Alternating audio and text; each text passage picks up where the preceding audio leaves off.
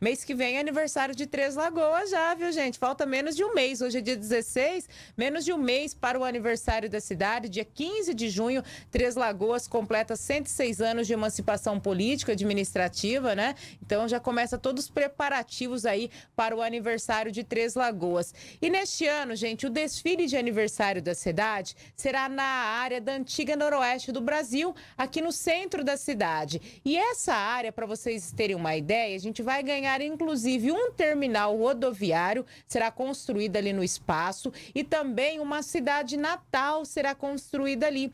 Eu conversei com o prefeito Ângelo Guerreiro, que falou a respeito das obras que estão em execução na área que pertencia à antiga noroeste do Brasil. Vamos acompanhar.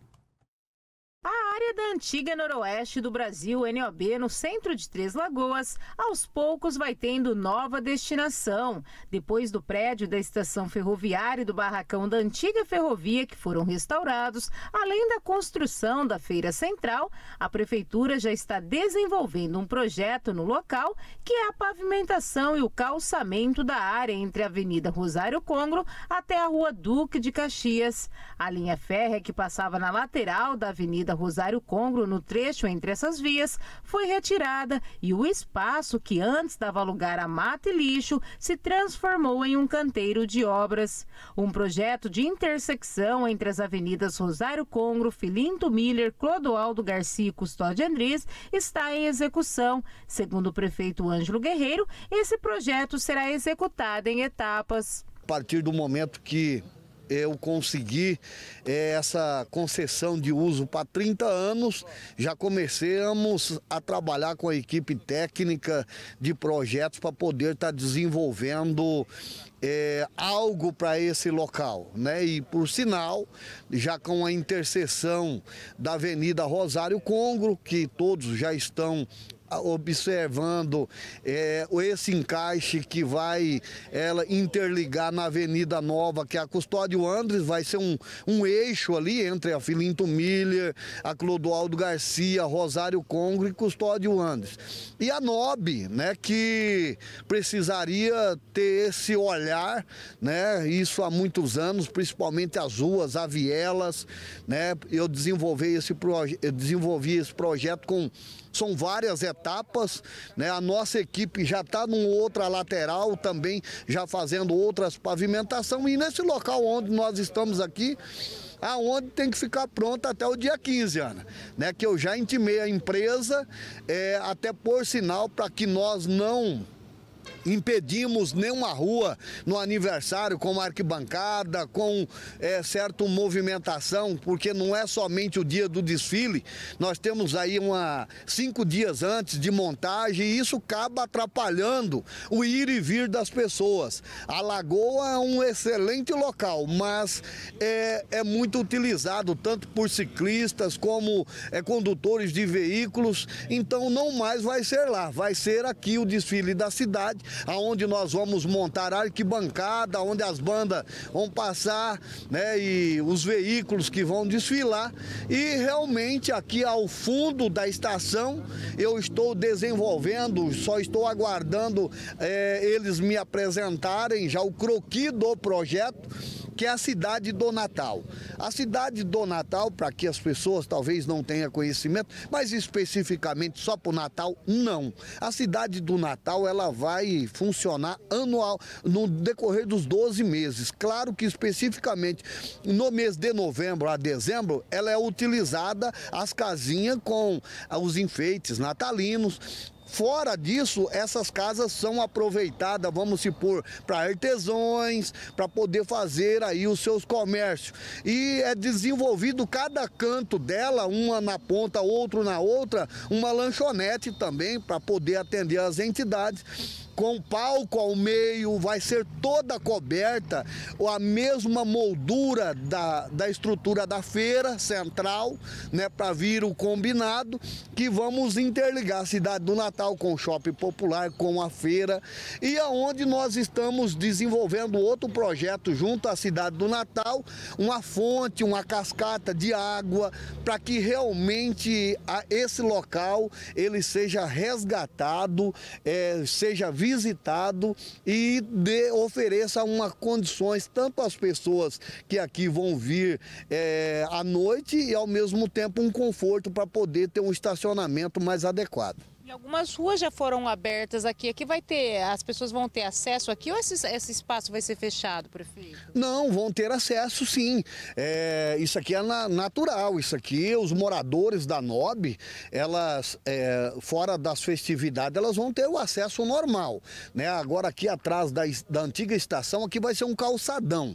Então aqui eles não vão ter acesso, veículos aqui, a lateral da Maria Fumaça, aqui vão ter essa pavimentação, ela vai continuar, ela vai vai fazer uma interseção ali para interligar nas demais vielas e ruas aqui existentes da NOB. Né? Aonde nós estamos aqui, nós estamos aguardando também um croqui com os projetistas do terminal de embarque e desembarque que seja mais confortável, ao mesmo tempo com uma lanchonete de pequeno porte, que nós podemos estar passando por alguma entidade para que ela zele do banheiro, que não fique da mesma forma aquele banheiro da praça central ali, que hoje é um tormento, né? Então, é, tudo isso está sendo estudado com muita cautela, com muita responsabilidade, para que realmente é, esse local seja visitado, né? Já estamos desenvolvendo, já pedir para a equipe uma revitalização de todos os canteiros central da Rosário Congo, tendo em vista que era,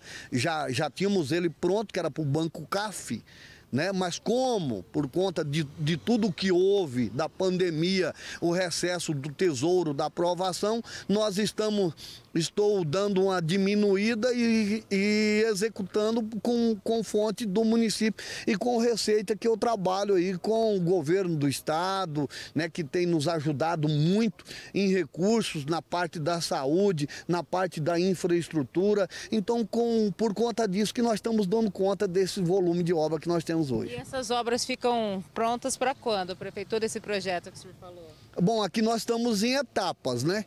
A, a, a, revitalização do canteiro da Rosário Congro, e não é só a, a revitalização dele, como também da Antônio Trajano da estação até a Matriz. É claro que a partir do, da finalização do projeto, aí ele vai para a licitação.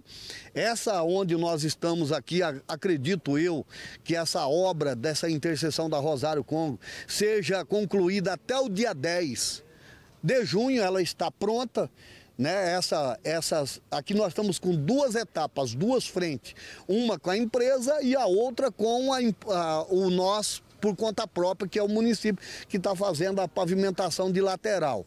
Né? Então aqui, creio eu, que até o dia, creio não, até o dia 10 tem que ficar pronto né? Que não é, é pensarmos positivo porque já temos uma programação. O desfile da cidade vai ser aqui na área central, lateral com a Avenida Rosário Congo, aonde nós vamos ter o espaço para todos os papais, as pessoas que vão vir prestigiar, ter aí o seu espaço para poder estacionar os seus veículos. O prefeito Ângelo Guerreiro adiantou que a tradicional Festa do Folclore de Três Lagoas será realizada neste ano novamente, depois de ter sido interrompida em 2020 e 2021 devido à pandemia da Covid-19. Agora, com a pandemia sob controle, será realizada novamente na área da NOB. Que à frente, né? Com certeza vai ser aí, né? Então, é, já são duas programações logo em sequência. Nós já estamos trabalhando também como pesquisando shows, tudo mais, né? Festa do Folclore, já estamos aí cotando que é Leonardo, Rio Negro Solimões, é, para poder, tem dois anos que os Três Lagoas estão sem, sem as festividades, não é só trabalhar não, nós temos que proporcionar também essa alegria a todos. Então no dia 15 nós vamos ter a apresentação aqui da, das bandas que estarão participando, no dia 16 é, nós teremos a apresentação novamente que as pessoas que não puderam vir na inauguração da feira, que é o motoqueiro lá do, do, do Jacaré do Brejo, vai fazer de novo essa apresentação na quinta quinta. Na sexta-feira, o Jacaré do Brejo vai também fazer a apresentação também para alegrar é, os moradores do Novo Oeste e Orestim. Vai ser lá a apresentação deles. Estamos negociando também um dia na exposição de portões abertos para a população também que não tiver condições para poder participar também. Então, tudo isso agregando as festividades para todos os três lagoenses. Não vai ter show no aniversário da cidade? Não, não. É na exposição para que não, não atrapalhamos, né? Eu acho que temos que, da melhor forma possível, respeitar. Então, os shows que deveria ser é, no aniversário da cidade, estou, estou transferindo eles para a festa do folclore, que é logo em sequência. Guerreiro adiantou que não será lançado neste ano um pacote de obras no aniversário da cidade. Ele explica o porquê. Eu não tenho lançamento de obras em aniversário da cidade, eu não tenho inauguração. Todo mês nós lançamos obras, todo mês nós entregamos obras, né? Então as pessoas estavam acostumadas, parece que só era inauguração só na época do aniversário da cidade e assinatura de ordem de serviço só no aniversário da cidade. Não, com o Guerreiro não tem isso não. Entra janeiro e sai janeiro, mês a mês nós estamos dando ordem de serviço. Nós temos obra em tudo quanto é canto da cidade, né? É o governo municipalista, bairrista que vem fazendo esse investimento de em diversos lugares. Claro que nós gostaríamos de estar mais avançado, mas também somos limitados, né?